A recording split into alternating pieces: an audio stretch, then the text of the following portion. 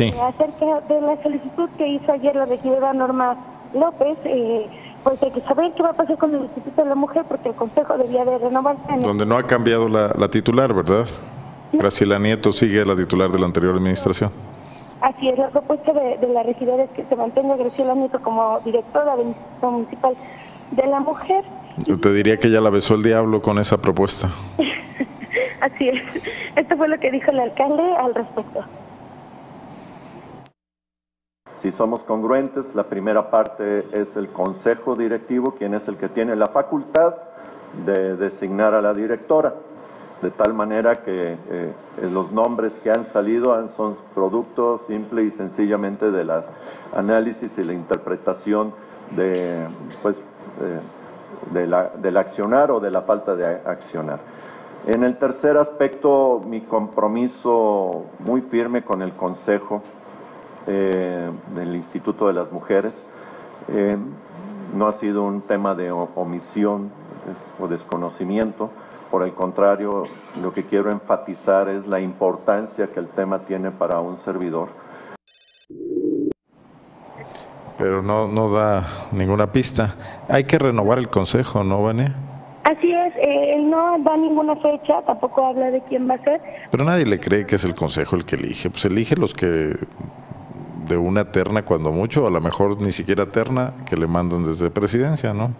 Exactamente, y aquí lo que hay que recordar es que las mismas consejeras eh, habían hablado de, de manera oficial, eso ya eh, pues en enero pasado, entre enero y febrero, acerca de eh, pues que ellas no estaban de acuerdo en que siguieran menos de las consejeras que son o, diferentes personas más bien. Y también habían pedido que si se quedaba el mismo consejo tendría que quedarse la misma titular del Instituto Municipal de la Mujer y bueno, posteriormente pues se dio a conocer esta situación en la que el municipio no ha eh, eh, pues seguido con las capacitaciones elementos de seguridad eh, por, por los temas de otras capacitaciones federales, es la respuesta que todavía estas cosas mantienen, pero pues el asunto aquí es que pareciera que el Instituto Municipal de la Mujer no nada más está siendo bloqueado, sino que además está rezagando o está olvidado porque pues ni siquiera han podido renovar el Consejo para determinar eh, cuál va a ser ahora la nueva política al respecto. Sí, aprovecho para comentar que mañana llevaremos una investigación periodística de Kenia Velázquez sobre este tema, donde bueno se observa cómo ha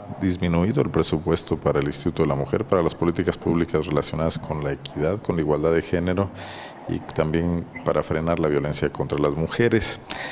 Eh, agrego, agrego, Vania, nada más decirte que dos nombres se han manejado. por un lado, como dijo hoy la regidora Prista, que se quedara Graciela Nieto, pero por ahí en algunos medios ha surgido la idea de que Luz María Ramírez, que fue directora del Instituto Estatal de la Mujer en la época de Juan Manuel Oliva, podría ser una propuesta. Famosa por el tema de los tatuajes. Exactamente.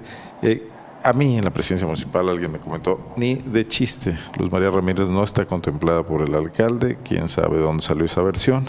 Entonces todo en incógnita quién, quién va a hacer esta designación encubierta de Héctor para el Instituto de la Mujer que harán pasar como un nombramiento del Consejo, del nuevo Consejo. Parece que varias ya están dispuestas, como tú dices, a renunciar. Y además hay que recordar que hasta este momento la única regidora que ha hablado sobre el tema, que se ha sumado al tema del, de la mujer, pues es justamente Norma López Zúñiga, porque ninguna de las regidoras panistas, como Ana Coco Carpio, Beatriz Yamamoto o Ana María Esquivel, han hecho ningún pronunciamiento al respecto y eh, no, no hablan, no se suman, ni siquiera opinan. Entonces, pues hay que esperar a ver qué va a pasar con este consejo, pero pues lo que se dice es que las consejeras están muy molestas por la manera en que se ha manejado el instituto en esta nueva administración. Muy bien. Pues muchas gracias. Mañana hay que leer este reportaje donde se, se, sustenta esto que tú nos dices el día de hoy. Vania. Muchísimas gracias. Gracias a ti, como siempre. Hasta luego. Hasta aquí en la